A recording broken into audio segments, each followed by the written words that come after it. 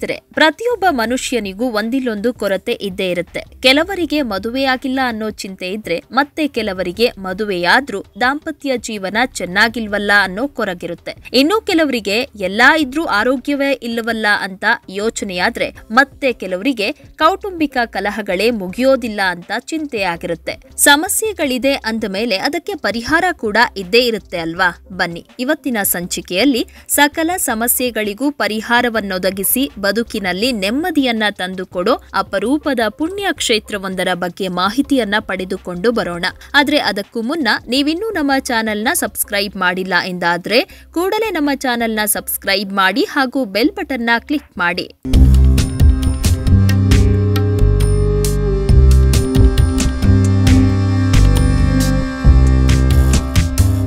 ಉಡುಪಿ ಜಿಲ್ಲೆಯಲ್ಲಿರುವ ಸಾಕಷ್ಟು ಶಕ್ತಿಪೀಠಗಳಲ್ಲಿ ಇಂದ್ರಾಣಿಯ ಪಂಚದುರ್ಗ ಪರಮೇಶ್ವರಿಯ ಶಕ್ತಿಪೀಠವೂ ಒಂದಾಗಿತ್ತು.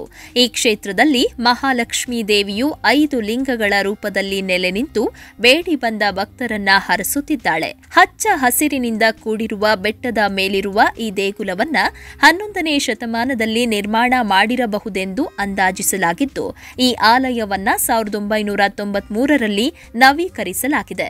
ಗರ್ಭಗೃಹ ಮುಖಮಂಟಪ ಪ್ರದಕ್ಷಿಣಾ ಪಥ, ಕಲ್ಯಾಣಿಗಳನ್ನ ಒಳಗೊಂಡ ಈ ದೇಗುಲಕ್ಕೆ ಹೋದರೆ ಮನಸ್ಸು ಅಮ್ಮನವರ ಸಾನ್ನಿಧ್ಯದಲ್ಲಿ ಪ್ರಫುಲ್ಲವಾಗುತ್ತೆ. ಕೌಟುಂಬಿಕ ಸಮಸ್ಯೆ, ದಾಂಪತ್ಯದಲ್ಲಿ ವಿರಸ ಇರುವವರು ಈ ಕ್ಷೇತ್ರಕ್ಕೆ ಬಂದು ಅಮ್ಮನವರಿಗೆ ಸೀರೆ ಸಮರ್ಪಣೆ ಮಾಡುವುದೋ ಅಥವಾ ತಮ್ಮ ಕೈಲಾದ ಸೇವೆಯನ್ನ ಮಾಡೋದಾಗಿಯೋ ಹರಕೆಯನ್ನ ಹೊತ್ತುಕೊಂಡರೆ ಆ ಸಮಸ್ಯೆಗಳೆಲ್ಲವೂ ಶೀಘ್ರವಾಗಿ ದೂರವಾಗುತ್ತೆ. ಅಲ್ಲದೆ ಈ ಕ್ಷೇತ್ರಕ್ಕೆ ಬಂದು ಪಾರ್ವತಿ ಸ್ವಯಂವರ ಪೂಜೆಯನ್ನ ಮಾಡಿಸಿಕೊಂಡು ಹೋದರೆ ವಿವಾಹ ವಿಳಂಬವಾಗುತ್ತಿರುವ ಹೆಣ್ಣು ಮಕ್ಕಳಿಗೆ ಶೀಘ್ರವೇ ಕಂಕಣ ಭಾಗ್ಯ ದೊರಕುತ್ತೆಂದು ಹೇಳಲಾಗುತ್ತೆ. ಇಷ್ಟು ಮಾತ್ರವಲ್ಲದೆ ಇಲ್ಲಿನ ಇಂದ್ರಾಳಿ ತೀರ್ಥದಲ್ಲಿ ಮಿಂದೆದ್ದು ಅಮ್ಮನವರಿಗೆ ಪೂಜೆ ಸಲ್ಲಿಸೋದ್ರಿಂದ ಪಾಪಗಳು ಪರಿಹಾರವಾಗಿ ಸಕಲ ರೋಗಗಳು ದೂರವಾಗುತ್ತೆಂಬ ನಂಬಿಕೆ ಕೂಡ ಇದೆ. ಹೀಗಾಗಿಯೇ ನಿತ್ಯ ನೂರಾರು ಜನ ಸುಕ್ಷೇತ್ರಕ್ಕೆ ಆಗಮಿಸಿ ಅಮ್ಮನವರನ್ನ ಕಣ್ತುಂಬಿಕೊಂಡು ಪಾವನರಾಗ್ತಿದ್ದಾರೆ.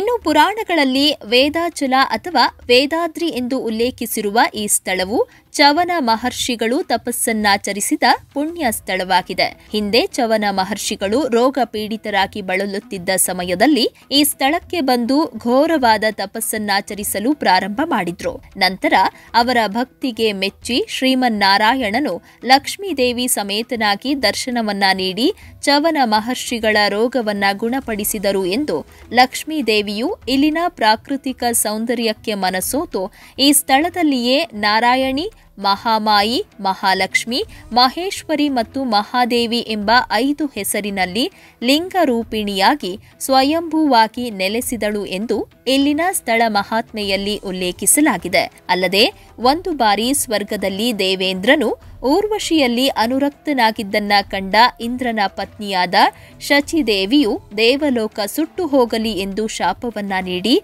ಭೂಲೋಕಕ್ಕೆ ಬಂದಳು. ನಂತರ ನಾರದ ಮುನಿಗಳು ಶಚಿದೇವಿಗೆ, ನೀನು ಚವನ ಮಹರ್ಷಿಗಳು ತಪಸ್ಸನ್ನಾಚರಿಸಿದ ವೇದಾಚಲಕ್ಕೆ ಹೋಗಿ ಲಕ್ಷ್ಮೀದೇವಿಯನ್ನ ಪ್ರಾರ್ಥನೆ ಮಾಡು, ನಿನ್ನ ಸಂಕಷ್ಟ ದೂರವಾಗುತ್ತೆ ಎಂದು ಹೇಳಿದರಂತೆ. ಮುಂದೆ ನಾರದರ ಮಾತಿನಂತೆ ಶಚಿದೇವಿಯು ಈ ಸ್ಥಳಕ್ಕೆ ಬಂದು ಪಂಚರೂಪದಲ್ಲಿ ನೆಲೆಸಿರುವ ಮಹಾಲಕ್ಷ್ಮಿಯನ್ನ ಭಕ್ತಿಯಿಂದ ಪೂಜಿಸಿದರ ಫಲವಾಗಿ ಶಚಿದೇವಿಯು ಇಂದ್ರನನ್ನ ಸೇರಿದಳೆಂದು ಹೇಳಲಾಗುತ್ತೆ. ಈ ಕಾರಣದಿಂದಾಗಿ ಈ ಕ್ಷೇತ್ರಕ್ಕೆ ಆಗಮಿಸಿ ದೇವಿಯನ್ನ ಪೂಜಿಸಿದ್ರೆ ದಾಂಪತ್ಯ ವಿರಸಗಳು ದೂರವಾಗುತ್ತೆಂಬ ಪ್ರತೀತಿ ಇದೆ. ಇವಿಷ್ಟು ಸಂಗತಿಗಳು ಮಾತ್ರವಲ್ಲದೆ, ಈ ಕ್ಷೇತ್ರವು ಇಂದ್ರಾಣಿ ನದಿಯ ಉಗಮ ಸ್ಥಾನವಾಗಿದ್ದು ಇಲ್ಲಿರುವ ಇಂದ್ರಾಣಿ ಕುಂಡದಲ್ಲಿ ಹರಿದು ಬರುವ ನೀರೇ ಮುಂದೆ ಇಂದ್ರಾಣಿ ನದಿಯಾಗಿ ಹರಿಯುತ್ತೆ.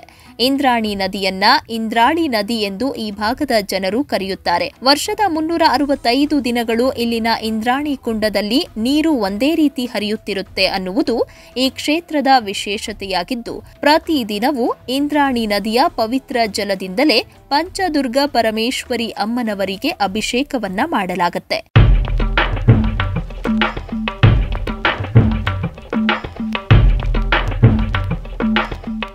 ಈ ಕ್ಷೇತ್ರದಲ್ಲಿ ಪಂಚದುರ್ಗ ಪರಮೇಶ್ವರಿ ಅಮ್ಮನವರ ಜೊತೆ ಅಂಜಲಿ ಬದ್ಧ ಆಂಜನೇಯ ಸ್ವಾಮಿ, ಮಹಾಗಣಪತಿ, ನಾಗಬಗಳ ಸಾನ್ನಿಧ್ಯ ಕೂಡ ಇದೆ. ಹೇಗೆ ತುಲಾ ಸಂಕ್ರಮಣದಂದು ಕಾವೇರಿಯಲ್ಲಿ ತೀರ್ಥೋದ್ಭವವಾಗುತ್ತೆ, ಅದೇ ರೀತಿ ಇಂದ್ರಾಣಿಯಲ್ಲಿಯೂ ಕೂಡ ತಲಕಾವೇರಿ ತೀರ್ಥೋದ್ಭವ ದಿನವೇ ತೀರ್ಥ ಸ್ನಾನವನ್ನ ಮಾಡಲಾಗುತ್ತೆ. ಸಂಕ್ರಮಣದ ದಿನ ಇಲ್ಲಿ ಸ್ನಾನ ಮಾಡಿದರೆ ಇಷ್ಟಾರ್ಥಗಳು ಸಿದ್ಧಿ ಆಗುತ್ತೆ ಹಾಗೂ ಪಾಪಗಳು ದೂರವಾಗಿ ಪುಣ್ಯ ಸಂಚಯನವಾಗುತ್ತೆ. ಈ ರೀತಿಯ ನಂಬಿಕೆ ಇಲ್ಲಿನ ಜನರಲ್ಲಿದೆ. ಮಂಗಳವಾರ, ಶುಕ್ರವಾರ ಹಾಗೂ ನವರಾತ್ರಿಯಂದು ಇಲ್ಲಿ ನೆಲೆಸಿರುವ ಪಂಚದುರ್ಗ ಪರಮೇಶ್ವರಿ ಅಮ್ಮನವರಿಗೆ ವಿಶೇಷ ಪೂಜೆಯನ್ನ ಸಲ್ಲಿಸಲಾಗುತ್ತೆ. ನಿತ್ಯವೂ ತ್ರಿಕಾಲ ಪೂಜೆಗೊಳ್ಳುತ್ತಿರುವ ಅಮ್ಮನವರಿಗೆ ಭಕ್ತಾದಿಗಳು ಹೂವಿನ ಪೂಜೆ, ಕುಂಕುಮಾರ್ಚನೆ ಮಹಾಮಂಗಳಾರತಿ ಉಡಿ ಸೇವೆ, ಪಾರ್ವತಿ ಸ್ವಯಂವರ ಪೂಜೆ, ಚಂಡಿಕಾ ಯಾಗ, ರಂಗ ಪೂಜೆಗಳನ್ನ ಮಾಡಿಸಬಹುದಾಗಿದೆ. ಸುಕ್ಷೇತ್ರವನ್ನ ಬೆಳಗ್ಗೆ ಆರು ಗಂಟೆಯಿಂದ ಮಧ್ಯಾಹ್ನ ಒಂದು ಗಂಟೆವರೆಗೆ, ಸಾಯಂಕಾಲ ನಾಲ್ಕು ಗಂಟೆಯಿಂದ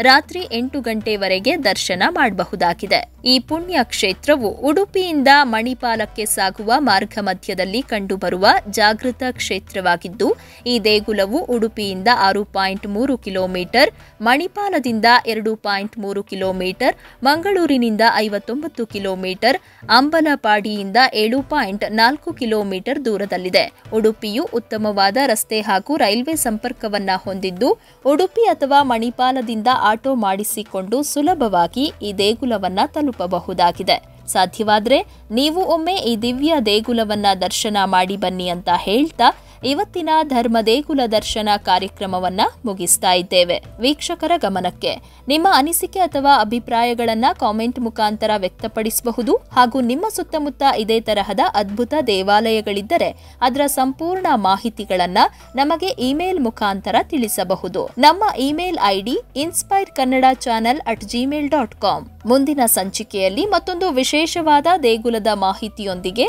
ನಿಮ್ಮ ಮುಂದೆ ಬರ್ತೀವಿ. ಈ ವಿಡಿಯೋ ನಿಮಗೆ ಇಷ್ಟವಾಗಿದ್ದಲ್ಲಿ ದಯವಿಟ್ಟು ನಮ್ಮ ಚಾನೆಲ್ನ ಸಬ್ಸ್ಕ್ರೈಬ್ ಮಾಡಿ ಹಾಗೂ ಬೆಲ್ ಬಟನ್ನ ಕ್ಲಿಕ್ ಮಾಡಿ. ವಂದನೆಗಳು.